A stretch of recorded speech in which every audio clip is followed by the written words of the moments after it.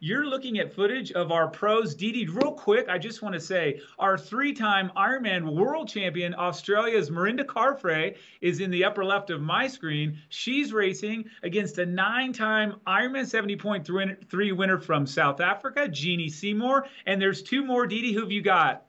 Uh, we've got Angela Naeth. She is a multiple 70.3 and Ironman champ, most recently at Ironman Chattanooga in 2019. And also Jocelyn McCauley. She's a three time Ironman champ, the 31 year old coming to you from her home in Idaho. Didi, who you who you calling for the win on this one, on this preem?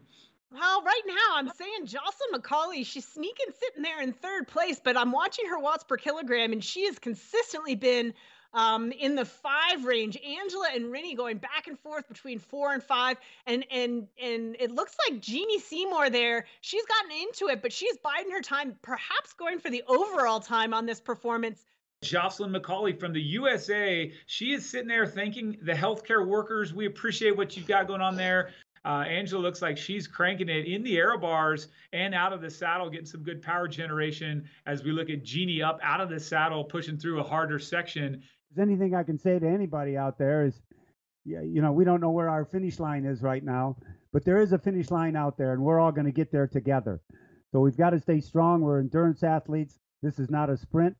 And you know what? Adversity ends up introducing you to yourself. You find out who you really are. Let's see it, ladies. This is it. This is what we're talking about. The hardest you can go for 90 seconds. I'm watching women gear down, get up out of the saddle. This is it, Didi. I love it. What are you seeing? Eight watts per kilogram for Jocelyn McCauley. Holy smokes. Rinny is pushing it back in the fight. I love it. Jeanni focused. Different, oh, my word. Yeah, Good different stuff. Strategies here. We've yeah, different strategies here. We've got Jocelyn, Jocelyn out of the saddle. Uh, we had Angela up and down. Jeanni choosing to stay seated. Rinny turning the cadence over. Rinny really picking up the cadence here for her max effort. What are we seeing here? 6.6. Go, ladies. Come on. Last 10 seconds. Let's see what you've got. Push, push, push, push. You're almost there. Five four, seconds.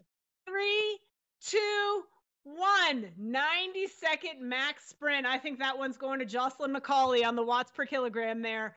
Tim's trash talking at the competitors a little bit, holding up some of Rinny's uh, trophies there um, from from prior wins, and and that might be a little smackdown to the other women out there. They've got to come and get her, right? Here we have Jocelyn McCauley making that right hand turn into the res, and there you go. We have Jocelyn McCauley, our first place finisher in today's Ironman Virtual Race Pro Challenge, Episode 1.